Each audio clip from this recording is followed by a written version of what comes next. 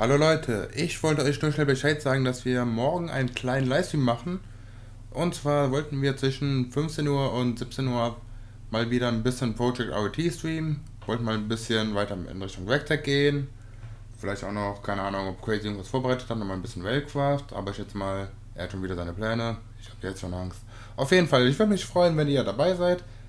Link ist in der Videobeschreibung und dann würde ich sagen, bis demnächst oder bis morgen. Tüdelü!